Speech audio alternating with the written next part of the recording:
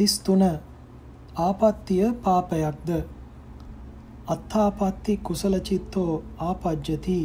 අත්තාපත්ති අකුසල චිත්තෝ ආපජ්ජති. අත්තාපත්ති අව්‍යාකත චිත්තෝ ආපජ්ජති. යනුවෙන් විනය පිටකයේහි පරිවාර පාළියේහි කුසල චිත්තයෙන් වන ආපත්‍ය අකුසල චිත්තයෙන් වන ආපත්‍ය අව්‍යාකෘත චිත්තයෙන් වන ආපත්‍ය කියා ඇවත් තුන් කොටසක් ඇති බව වදාරා ඇත. පූජා කිරීමට මල් නෙලීම, බෝමලු, සෑමලු ආදිය පිරිසුදු කිරීම, පිනිස පොළව කෙටීම, තෘණ ඉවත් කිරීම යන ආදියෙන් ඇවැත්වන්නේ කුසල චිත්තේනි. ප්‍රාණඝාත ආදියෙන් ඇවැත්වන්නේ අකුසල චිත්තේනි. රහතුන් ඇවැත්වලට පැමිණෙන්නේ අව්‍යාකෘත චිත්තේනි. ඇතැම් ආපත්‍යයකට කුසල අකුසල අව්‍යාකෘත යන ත්‍රිවිධ චිත්තයෙන්ම පැමිණිය හැකිය. මෞපිය උපස්ථානය පිණිස හෝ දුක්ඛිතයන්ට උපකාර කිරීම පිණිස හෝ විහාර චෛත්‍ය ධර්මශාලා ආදී යමක් කිරීම පිණිස හෝ මුදල් පිළිගැනීමෙන් වන ඇවත වන්නේ කුසල චිත්තේනි. ලෝභයෙන් මුදල් පිළදී පිළිගැනීමේදී ඇවතට පැමිණෙන්නේ අකුසල චිත්තේනි. ඒ ඇවතට රහතුන් පැමිණෙන්නේ අව්‍යාකෘත චිත්තේනි. විනය ක්‍රමය අනිකකි. ධර්ම ක්‍රමය අනිකකි. කුසල අකුසල විභාගය කරන්නේ විනය ක්‍රමයෙන් නොව ධර්ම ක්‍රමේනි. කර්ම විපාක පවසන්නේද ධර්ම ක්‍රමේනි. කුසල චිත්තයෙන් වන ඇවතක් පාපයක් යැයි කීම මහා ධර්ම විරෝධී කියමනකි. කුසල චිත්තයකින් අනිෂ්ට විපාකයන් ඇති කරතැයි කියතහොත් එය ධර්ම විරෝධී මිත්‍යා කතාවකි. මේවා ගැන කිසිවෙක් නොදත් මේවා ගැන කිසිවක් නොදත් ඇතැම් පණ්ඩිතමානීහු හැම ඇවතක්ම අපායගාමී පාපකර්මයක් වශයෙන් කතා කරමින් නූගත් ජනයා මුලා කරමින් භික්ෂූන්ට ගරහා කරමින් රට ගිනි තබති. 34 පාරාජිකාවෙන් අන්‍ය කුඩා ඇවැත්වලට පැමිණ සිටින අලජ්ජී පුද්ගලයන් හා දුස්සීලයන් සංඝරත්නයට අයත් පුද්ගලයන් ලෙස පිළිගෙන ඔවුනට ගරු බුහුමන් කළ යුතුද? පැවිද්දෙකු විසින් සීමාවකදී බුද්ධ ආඥාව පරිදි සංඝයා ඉදිරියේහි ලබන උපසම්පදා සීල සමාදානය පරාජික ආපත්‍ය හැර අනික් ඇවතකට පැමිණීම නිසා නොබිදෙයි. එබැවින් පරාජික ආපත්‍ය හැර අනිත් ඇවතකට පැමිණ සිටින භික්ෂුවක් විසින් කුල පුත්‍රයෙකු පැවිදි කරන්නට යෙදුනහොත් ඒ පැවිද්ද සාර්ථක වෙයි. එබඳු භික්ෂූන් එකතුව සීමා බන්ධනයක් කළහොත් ඒ සීමාව නියම සීමාවක්ම වෙයි. උපසම්පදා කර්මයක් කළහොත් උපසම්පදා අපේක්ෂකයාට සුද්ධ උපසම්පදාව ලැබෙයි. උපසම්පදාව කළ භික්ෂූන්ට තිබුණු ඇවැත් ඒ භික්ෂූන්ගෙන් උපසම්පදාව ලැබූ තැනැත්තාට නොයේ. වත් දීම් මානත් දීම් අබ්බාන කිරීම් ආදී සියලුම විනය කර්මවලටත් ඒ භික්ෂූහු සුදුසු වෙති. විනය කර්මවලදී බැහැර කළ යුතු වර්ජනීය පුද්ගලයන් එක්විසි දෙනෙක් ඇත්තාහ. අලජ්ජී භික්ෂුව වර්ජනීය පුද්ගලයන්ට අයත් නොවෙයි. කරුණු මෙසේ හේයින් පාරාජිකා නොවූ භික්ෂුව අන් කිනම් ඇවතකට පැමිණියත් සංඝරත්නයට අයත් බව කිය යුතුය. සංඝරත්නයට අයත් බැවින් ඒ භික්ෂුවට සුදුසු පරිදි පැවිද්දන් විසිනුත් ගිහියන් විසිනුත් ගරු කළ යුතුය. චුල්ල වග්ග පාළියෙහි සේනාසන කන්දකයේ උපසම්පන්න භික්ෂූන් විසින් වැඳීම් නොකළ යුතු පුද්ගලයන් දස දෙනෙකු වදාරා තිබේ. අලජ්ජි අවන්දියෝ දුස්සීලෝ අවන්දියෝ කියා එහි වදාරා නැත. එබැවින් ඇතැම් ඇවැත්වලට පැමිණෙන පුද්ගලයා භික්‍ෂූන් විසින් වැඳිය යුත්තකි. ඒ ඇවැත්වලට පැමිණෙන පෘතජ්ජන භික්‍ෂුව කලින් උපසම්පදා ලැබූවෙකු වේ නම් පසුව උපසම්පදා ලැබූ රහතන් වහන්සේ විසින් වුවද වැඳිය යුතුය. ගිහියා විසින් වැඳිය යුතු බව ගැන කියනු කිම. උපාසක වරුන්ට කැමති නම් අංග අටකින් යුක්ත වන භික්ෂුවට දුටු කල හුන්නස්නෙන් නොනැගිටීම් නොවැඳීම් ආදියෙන් අප්‍රසාදය දක්වන්නට තථාගතයන් වහන්සේ විසින් අනුදැන වදාරා තිබේ.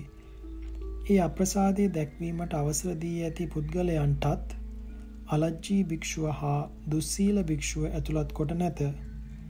මේ කරුණු අනුව කිය යුත්තේ කොහෙත්ම සීලයක් නැති දුස්සීලයා කෙසේ වුවත් කුඩා කුඩා ඇවැත්වලට පැමිණෙන භික්ෂුව නම් ගරු බුහුමන් කළ යුතු පුද්ගලයෙකු බවය. මෙහිදී විශේෂයෙන් විනිශ්චය කරගත යුතු කරුණ නම් ශ්‍රමණ දුස්සීලයා ගරු කළ යුත්තෙක්ද නැතද යන වගය යම්කිසි කුලපුත්‍රයෙකු තථාගතයන් වහන්සේගේ ආඥාව පරිදි උපසම්පන්න භික්ෂූන් වහන්සේ කෙනෙකුගෙන් සිවුරු ලබා ඒවා හැඳ පොරවාගතහොත් ඉන්පසු ඔහු ශ්‍රමණයෙකි ශ්‍රමණ භාවයට පැමිණීම වශයෙන් ඔහු ගිහියන්ට උසස් පුද්ගලයෙකු වෙයි. මෙසේ සිවුරු ලබා විනයානුකූලව ශ්‍රමණ වේශය ලබාගත් කුල පුත්‍රයා එපමණකින් ශ්‍රමණයෙකු මිස සාමණේරයෙක් හෝ උපසම්පන්නයෙක් නොවේයි. එහෙත් ඔහු ගිහියෙක්ද නොවේයි. ඔහු සාමණේරයෙකු වන්නේ භික්ෂූන් වහන්සේ කෙනෙකු වෙතින් විනයානුකූලව සරණ සමාදානේනි. උපසම්පන්නයෙකු වන්නේ සීමාවකදී සංඝයාගෙන් උපසම්පදාව ලබා ගැනීමෙනි. යම් කිසි ක්‍රමයකින් ඒ සාමණේරයා හෝ උපසම්පන්නයා පරාජිකාවට පැමිණියහොත් සාමණේරයාගේ සාමණේර සීලයත් උපසම්පන්නයාගේ උපසම්පදා සීලයත් නැති වෙයි. පරිජීවීමෙන් සීලය නැතිවනවා මිස ඔවුන් විසින් ලබා ඇති සිවුරේ හිමිකම පැවිද්ද නැති නොවෙයි.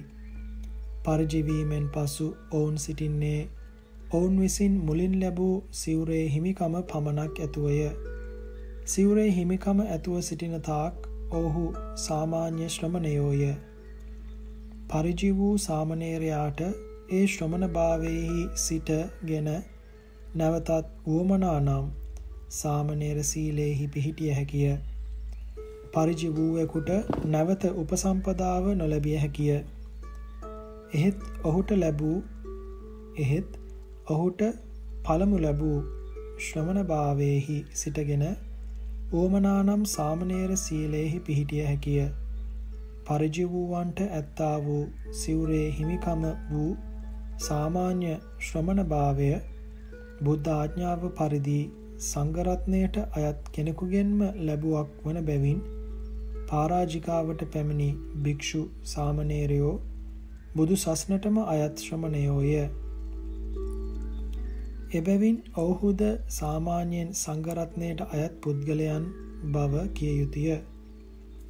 ආයුෂ්මත් නාගසේන ස්තවීරයන් වහන්සේ විසින් භික්ඛු සාමඤ්ඤං උපගතෝ හෝති යනුවෙන් දුස්සීලයාත් සාමාන්‍යයෙන් භික්ෂුවක් වන බවත් සංඝ සමය සමනු පවිට්ඨ තෝපී දකිනං විසෝදති යනුවෙන් ශ්‍රමණ දුස්සීලයාත් සාමාන්‍යයෙන් සංඝයාට ඇතුළත් වන බවත් වදාරා තිබේ.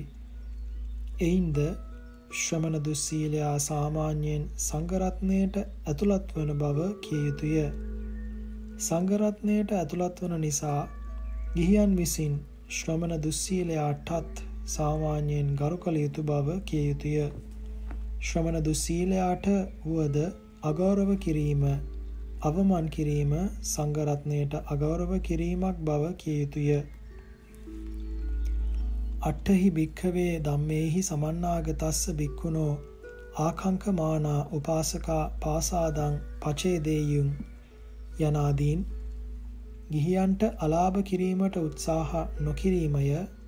ගිහියන්ට අනර්ථ කිරීමට උත්සාහ නොකිරීමය. ගිහියනට ආක්‍රෝෂ පරිභව නොකිරීමය. ගිහියන් ඔවුනොවුන් ભેද නොකිරීමය. බුදුන්ගේ අගුණ නොකීමය. ධර්මයේ අගුණ නොකීමය. සංඝයාගේ අගුණ නොකීමය අගෝචර ස්ථානයන්හි හැසිරෙනු නොදකීමය යන කරුණු අටෙන් යුක්තවන භික්ෂුවට ගරු බුහුමන් කිරීම වශයෙන් ප්‍රසාද දැක්විය යුතු බව තථාගතයන් වහන්සේ විසින් වදාරා ඇත. බොහෝ අලජ්ජී දුස්සීල භික්ෂූහු ඒ කරුණු අටින් යුක්ත වන්නාහ. සිල්වත් වීමක් ගැන එහි සඳහන් වී නැත. ඒ දේශනාව අනුව කියනවා නම් ඒ කරුණු අටින් යුක්ත අලජ්ජී දුස්සීල භික්ෂුවට වුවද ගරු බුහුමන් කළ යුතු බව කිය යුතුය.